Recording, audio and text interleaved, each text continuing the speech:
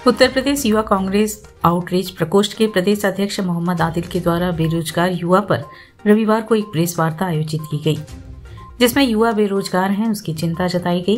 Press वार्ता में मोहम्मद आदिल ने कहा कि पूरे देश में युवा नौकरी के लिए भटक रहा है। फॉर्म भरने में उनके और परिवार के हज़ारों रुपए बर्बाद हो रहे हैं। अधिक छात्र गरीबी रेखा के नीचे हैं और छात्र जब सेंटर पर पहुँचता है तो परीक्षा रद्द हो जाती है। परीक्षा देने के बाद पेपर लीक हो जाता है और बेरोजगार युवा नौकरी की उम्र पार होने की वजह से युवा हताश व निराश है।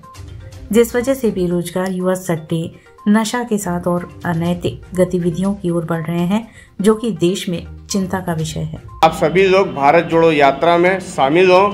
हमारे आदरणीय राहुल गांधी जी न्याय चाहते हैं, बेरोजगार के साथ, युवाओं के साथ, हर एक समस्या के साथ न्याय चाहते हैं, जो आज देश में बहुत बड़ी समस्या जिसको अनदेखा किया जा रहा है। तो मैं एकदम निवेदन कराऊँगा कि इस यात्रा जो वाराणसी में सोलह तारीख को चंदौली में इंटर्न कर रही है उत्तर प्रदेश में, और वाराणसी में सत्रह तारीख को, और बनारस के काशी वासियों से भी विशेष निवेदन मेरा है कि उस यात्रा में शामिल हो और न्याय की तरफ़ बढ़े, जो कि देश मतलब एकदम धकेला जा रहा है दूसरे तरफ़, और जो नर्सरी युवाओं की है, वो नशे और सट्टे में लिप्त है, इस वजह से एक चिंता बहुत बड़ी है।